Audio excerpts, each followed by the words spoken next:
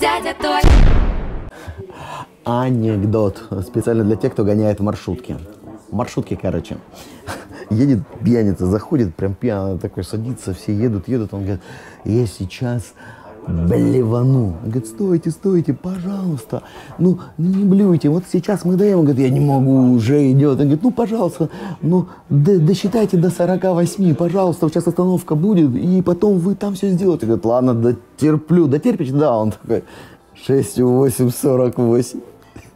Друзья, это для тех, кто у нас супер эстет. Всем привет, обязательно подписывайтесь сюда или сюда. Баклажан, дядя Толя. olha.